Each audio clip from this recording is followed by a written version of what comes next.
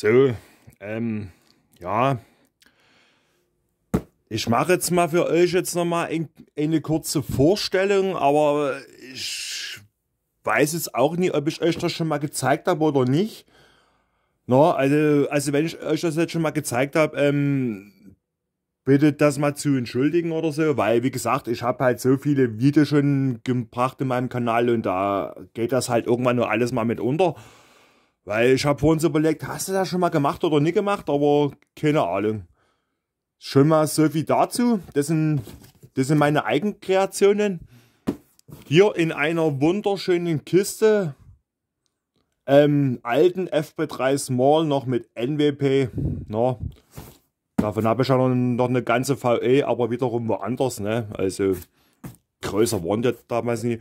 Und ähm, was ich euch, euch jetzt nochmal mit dazu sagen wollte, oder hier, ähm, ihr habt ja bestimmt schon hier von der Brücke gehört, in Dresden in, der Tacht zum, also im Mittwoch früh, Tag zum Dreier hier eingestürzt ist.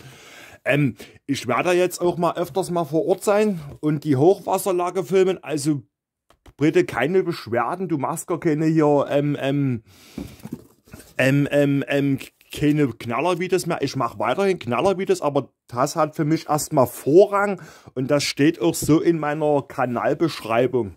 Das habe ich nämlich auch, also auch vergessen mal mit zu erläutern. Also ich filme Abbruch, Wettererscheinungen und so weiter und Pyrotechnik. So steht das drin in meiner Kanalbeschreibung.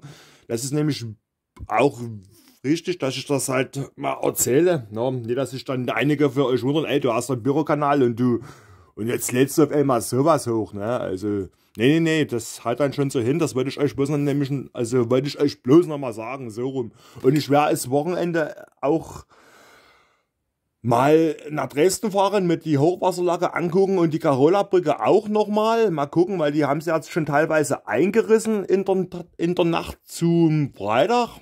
Ja. Und teilweise auch so ein paar Brückenteile abgesprengt, aber da war ich halt leider irgendwie vor Ort, aber ist jetzt nicht so schlimm. Ne? Und dann werde ich wahrscheinlich auch am Montag oder am Dienstag mal mit meiner Frau mal nach Meißen fahren und mir in Preisen auch mal die Hochwasserlage angucken, weil Meißen ist immer sehr gut gefährdet, wenn wir Hochwasserlagen haben, weil das halt wie in so einer richtigen Senke drin liegt und die Elbe links und rechts keinen Platz hat, irgendwo auf Felder zu fließen. Also wir rechnen hier auch mit dem Elbpegel in Dresden zwischen sieben und vielleicht 8 Meter. Das kommt an 2002 wieder ran. Gut, das wollte ich euch jetzt besser mal mit dazu sagen. Deswegen danke ich euch. Ihr könnt mich schon weiter gerne abonnieren. Wie gesagt, ich bleibe auch hier mit den Böllern auch am Ball. Ne? Ihr braucht ja keine Bange haben oder Sorgen haben. Ich mache weiter Pyro-Videos, aber halt wie gesagt auch Abbruch. Habe ich jetzt schon was gefilmt. Ist halt leider noch auf privat. Werde ich irgendwann mal hochladen. Und halt Wettererscheinungen Gewitter, Starkregen, Ereignisse oder was weiß ich was. Ne?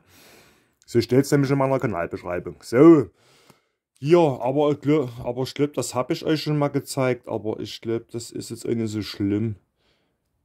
Genau. Nee, ähm, hier, warum ich das gebracht habe, wenn ihr euch das jetzt fragt. Ähm, dass es einfach mit die sicher vor Wort sind, nicht feucht werden oder sonst was. Da habe ich mir mal vor einem Jahr mal was überlegt. Ach, wie kann man denn die mal irgendwie einpacken? Und da habe ich mein, mein Schrottzeug gesehen, wie diese Luftpfeifer und was weiß ich was. Kommt da dann noch wesentlich mehr dazu. Ähm, ja, die kann man halt dort reinmachen und dann wieder eintagern. Na, wie gesagt, das ist jetzt Zeug, was ich definitiv tief noch jahrelang aufhebe, jahrzehntelang. Das wird nicht verschossen, weil es gibt so nicht mehr zu kaufen. Das sage ich euch dann auch nochmal mit dazu. Ne? Und wie gesagt, ich würde mich schon gerne auch nochmal über ein Abo freuen oder so. Wenn wir dann mal ein rundes Abo haben, sage ich euch dann machen wir für euch ein Special. Das mache ich auch mal mit, also mit einem Kollegen, das hatte ich schon ein paar Mal angesprochen.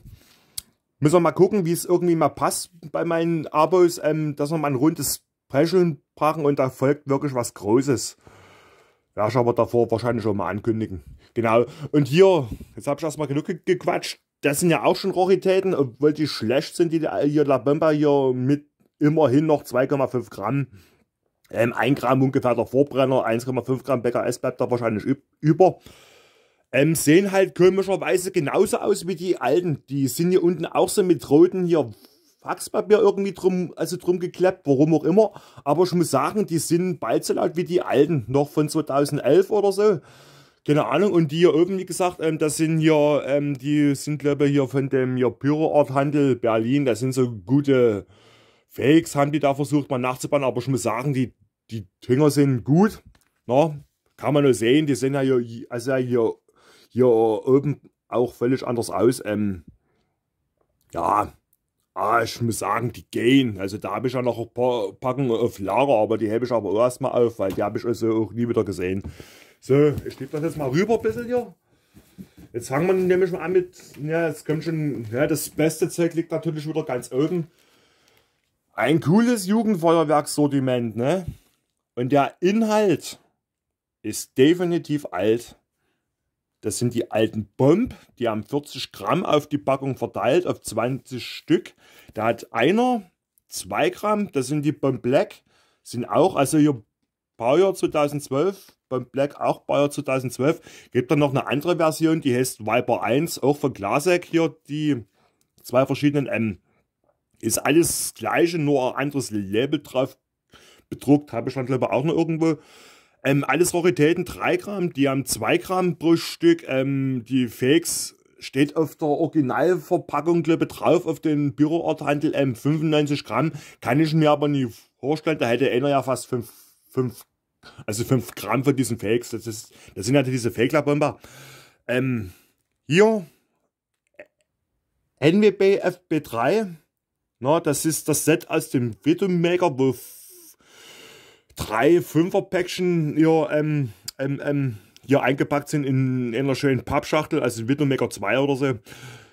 Hier schon etwas die ähm, neuere Version, aber halt auch schon ein bisschen älter, weil jetzt gibt es die ja bloß noch in der 1,8 Gramm Version pro Stück, die FB3. Ähm, was ich bei den sagen muss, ähm, weil die hinten mit Kips sind die 2,1 Gramm Version, ähm, die sind genauso stark wie der alte mit 3 Gramm. Das hat mich schon ein bisschen gewundert, die Kollegen auch, wo wir das getestet haben. Hier, weil ich denke mal, die haben das wahrscheinlich schon ein bisschen überklebt oder so, aber da habe ich jetzt noch nie mehr mal die Mühe gemacht, um das, um das Label mal irgendwie abzumachen, aber ohne so schlimm. Und wie gesagt, alles 3 Gramm. Hier auch nochmal die Raritäten, also ist das schon eine Raritätenversion, die gibt es noch zu kaufen, aber muss man jetzt auch nicht unbedingt holen, wenn man die noch findet, die alten La Bomba. Und hier kann man nämlich wunderbar erkennen, hier fällt der BKS-Inhalt. Deswegen sind die ein, also eingepresst, weil es müsste ja praktisch ja hier genau bündig sein und da kann man nämlich sehen, was BKS nämlich fällt. Bestes Beispiel hier. Hier ist es nämlich ein Tisch so. Mal gucken, ob wir das jetzt sehen, ob der Scheißhaufen mal wieder anfokussiert hier. Jetzt, weil hier ist komischerweise das gründig und die klingen halt auch so wie die, noch wie die alten mir mit dreieinhalb, vielleicht vier Gramm. Ja, das ist, gibt, das ist halt das, was ich immer mal angesprochen hatte, auch mal in anderen, älteren Videos, wenn ihr die mal geguckt habt oder so. Also wie gesagt, der, der Hörer ist halt das, was ja ein bisschen komisch ist, beziehungsweise, ähm, ja, was halt ein BKS fehlt, ne, das ist, so, wir machen mal weiter, jetzt kommt, na gut, das ist ja wieder Schrott, hier auch, wie gesagt, ja, das ist ja nochmal die Raritäten, also ist ja auch schon eine Raritätenversion La Bomba und hier ähm, NWB ich habe jetzt keine Ahnung, ob das jetzt die normalen FB3 sind, ohne hier diesen Mittel, also ohne dieser Videomaker 2 Packung, aber kann ich mir jetzt gar nicht mehr so irgendwie vorstellen oder so. Hm.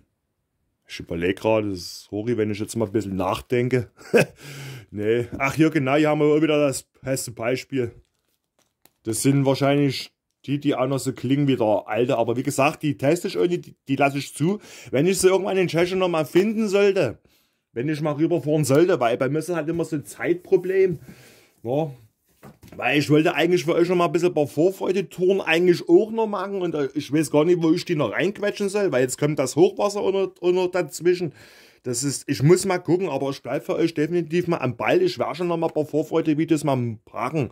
Da brauche ich, halt, ähm, da brauche ich aber halt auch wieder die passende Location dafür, weil ich habe ja immer das Problem, dass hier immer haufenweise Leute unterwegs sind, die halt auch an den abgelegensten Orten rumkrauchen und dann Stress machen. Das hatte ich schon ein paar Mal, ne? Also, aber mal gucken, davon sollte man sich glaube ich nie abschrecken lassen. Vielleicht probier's erstmal mit legalem Zeug oder so, mal gucken und dann mal ein bisschen BKS, je nachdem.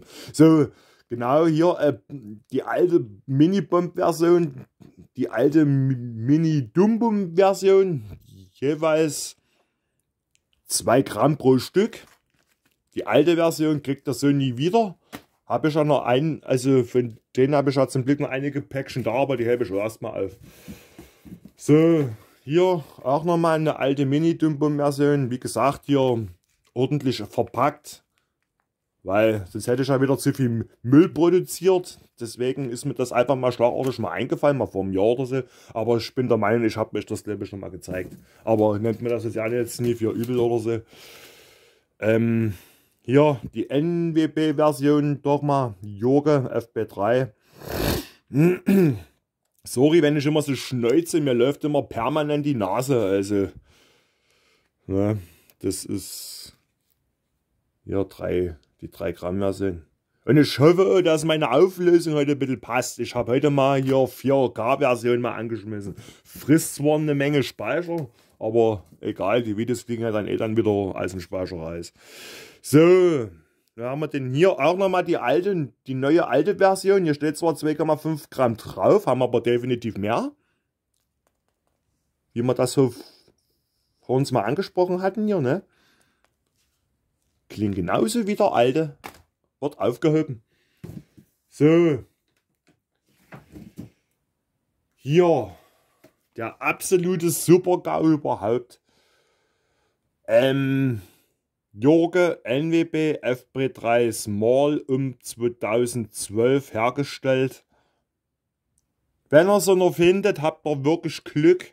Aber fragt mich jetzt nie, wo die noch rumliegen könnten. Da gab es mal einen Shop in Tschechien. Ähm, da habe ich aber mit dem Kollegen damals hier das restliche alte Zeug alles also aufgekauft. Na, habe ich ja, wie gesagt, von den FB3 Small habe ich ja noch eine ganze V, also eine komplette V noch da. Und die sind wirklich gut, also. Und ich würde mal bald behaupten, dass die mehr wie 0,83 Gramm haben, also auch die alte Version, also so wie die klingen, die klingen ja bald wie ein Dumbum, also noch hier die alte Version in P1 oder F3, je nachdem.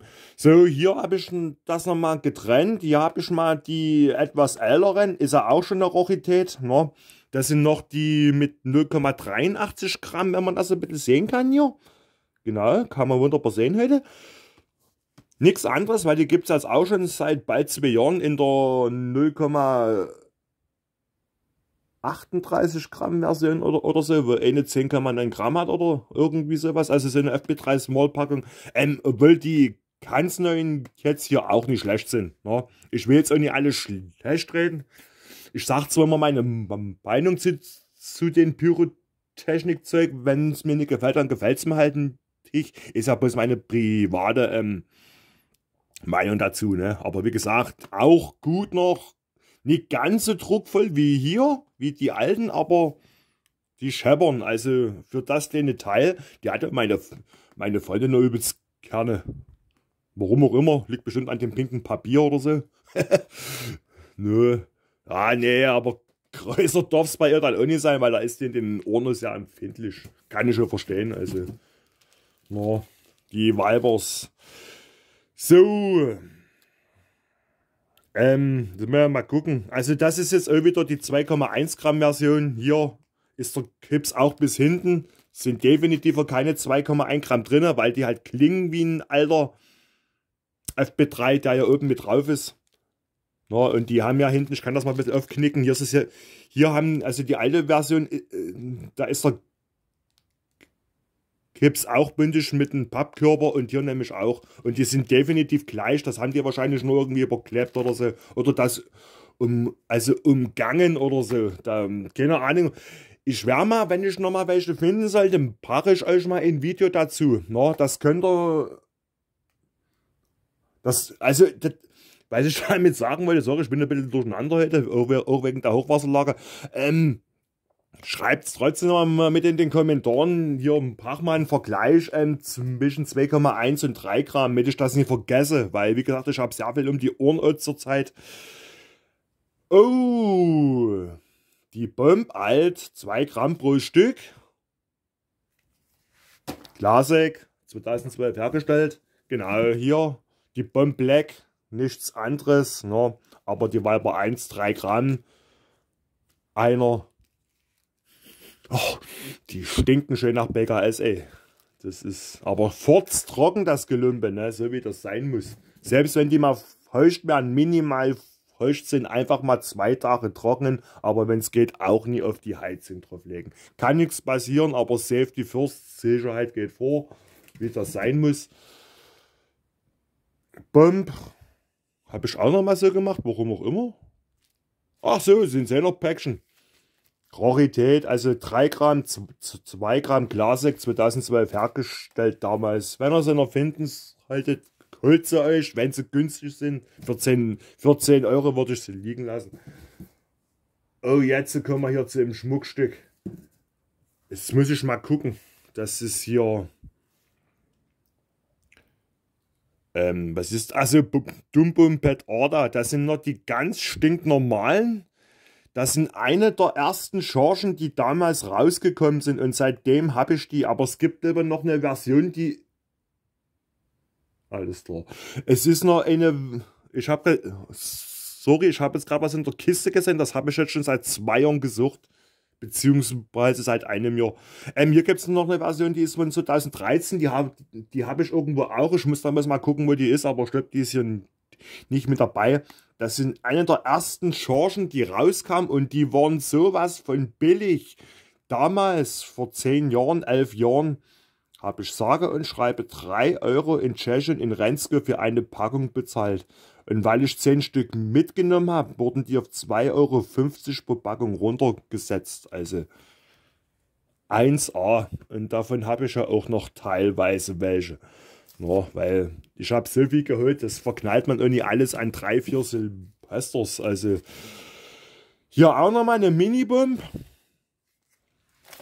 2012, aber erst, hier muss man echt gucken, ey, das Zeug ist kreuzgefährlich, da liegt überall das BKS frei, deswegen habe ich die verpackt und dann die ich jetzt noch übrig habe, ich habe davon glaube ich noch zwei, drei, zwei oder drei 30er Packungen da Mal gucken, die kann ich mal mit verscherbeln oder so, aber nie gerade an Silvester oder so. Mal gucken, mal unterm Jahr irgendwie, wenn ich mal das irgendwie mal hinkriege hier. So, hier ist nochmal eine alte äh, ja, 3 Gramm Version, FP3 Small, äh Quatsch, FP3 Small, FP3 Original, so. Mann. Hier auch nochmal Bomb Black. Wie gesagt, das was jetzt hier liegt, ist alles zum, Ver zum Verewigen. Ne? Das wird aufgehoben, das räume ich dann wieder schön ein in meine Kiste. So. Dumbum Mini, Brini Dumbum, 2 Gramm pro Stück, alles alles, alles ältere Version. So, und jetzt haben wir es nämlich hier. Und diese zweite Packung habe ich definitiv gesucht, die, ganzen, die ganze Zeit. Siehst du? Weil man so viel Gerassel hat, geht das einfach mit unter. Weil hier hatte ich nämlich noch eine zweite.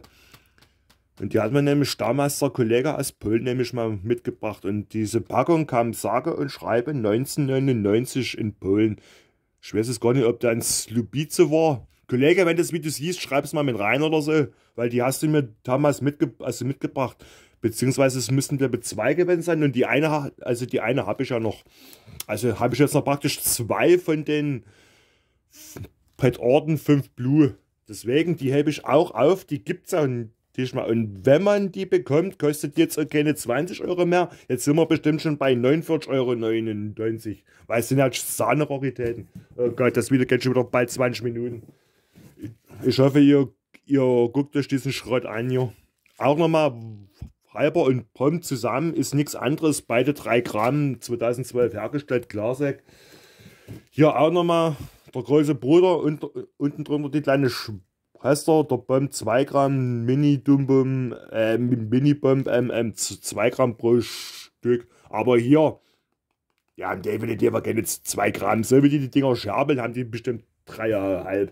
Meine Meinung dazu. So, Jetzt habe ich schon noch mal ein schönes Schmackofatzel für euch. Das ist ein Prischset Dump und Pürbel. Müsste Baujahr 2014 oder 15 gewesen sein. Haben einen schönen pinken Vorbrenner. Hier nochmal das alte Zeug. NWP, alten. Und hier habe ich nochmal, weil der Hörer immer drin war, da habe ich nochmal eine Mini-Bomb mal, äh, Quatsch, ne, Mini-Bomb. Da könnte es eigentlich schon das gleiche, ne? Mini-Dump und Mini-Bomb trennt sich nichts, aber es steht halt beim drauf. Mit zwei Gramm mit reingeschmissen, um den Hörer mir mal ein bisschen aufzufüllen. Sehr schönes Zeug. Und sowas kann man aus solchen alten hier Ver Verpackungen nämlich packen. Spart man gleich ein bisschen Müll. Obwohl das ja eigentlich schon geil ist, wird da eh alles verbrannt. Ja, da wird ein Pix sortiert in der, äh, äh, also auf dem Recyclinghof. Das wird verbrannt und damit wird dann halt hier Energie erzeugt. Ne? Aber das wissen wir ja alle. So. Jetzt schaue ich mal. Hier müssten wir mal gucken, ob das jetzt ähm, die ganz erste ist. Ja, das sind die allerersten Dumbum ohne Scheiß. Das sind sie. Und da habe ich nämlich mal bezahlt 2,50 bis 3 Euro. Damals in Tschechien, wo die, wo die rausgekommen sind. Eine der besten Knaller im, mit Preis-Leistung gewesen. Na, günstiger Kingsley wenn man da drüben noch mehr gekauft hat, ähm, wurde das ja immer, also immer günstiger wegen Mengenrabatt. Ähm, ja, hier habe ich nochmal Weiber mit reingeschmissen und hier äh, und nochmal diese wahrscheinlich alten, obwohl jetzt 2,5 Gramm drauf steht, Rarität. Der Berg wird immer höher. Sehr schön. So muss das sein. Ein, in einer Bürowohnung. Nee, das Rekte schaffe ich dann wieder ganz woanders hin. Na, das ist meist so viel irgendwo lagern. Das sollte man absolut nicht machen. Und schon, und gleich gar nicht alles auf den Haufen. Kann nichts passieren, aber Safety first. So, Bomb Black, wie gesagt, 3 Gramm, 2 Gramm, 3 Gramm, 3 Gramm, 2,5 Gramm, aber eigentlich 3,5 Gramm. Sehen, sehen aber identisch aus wie, wie mit den alten. Das Brothers Logo, so wie bei den alten. Aber die alten habe ich jetzt gar nicht mit dabei. Ja, schade. So, hier habe ich auch noch mal ein schönes Mischset. Beziehungsweise ist kein Mischset, das ist 1, das ist, das ist 1 zu 1 Set oder wie man das jetzt nennt. Oh Gott, 22 Minuten. Ich hoffe, ihr guckt euch das an. Ich, ich hoffe es. Bürbel äh, müssten Bauer 2014 gewesen sein. Genau. Äh, haben wir mal mit hier drauf. Oh Gott.